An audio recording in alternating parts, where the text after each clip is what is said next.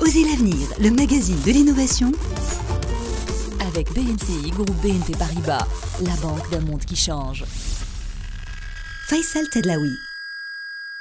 Osez l'avenir vous emmène encore au Danemark aujourd'hui et sur les hauteurs de Copenhague. Et quand je vous parle des hauteurs, ce sont les immeubles. Un toit d'immeuble peut accueillir une multitude de choses, comme des antennes, des panneaux solaires, mais cela reste une superficie sous-exploitée. D'où la naissance des fermes urbaines sur les toits. Rencontre avec Christian Skarup en charge de l'Urban Farm Project de Copenhague.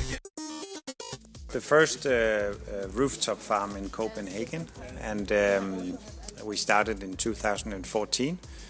Nous avons commencé en 2014 et nous espérons nous étendre à d'autres toits, bien sûr. Et il est important que nous montrions aux citoyens comment sont les légumes et comment les cultiver.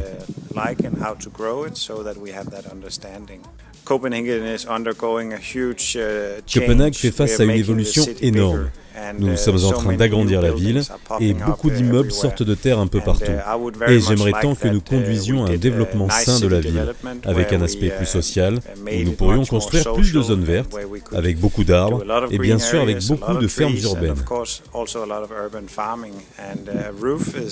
Et le toit est un bon endroit pour commencer, car les immeubles prennent de la place à terre. donc, pourquoi ne pas les restituer sur les toits?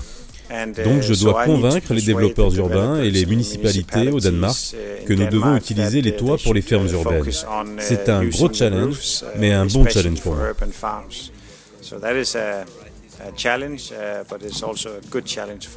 L'agriculture de demain sera peut-être au-dessus de nos têtes. Retrouvez Oser l'avenir sur la page Facebook BMCI. À demain.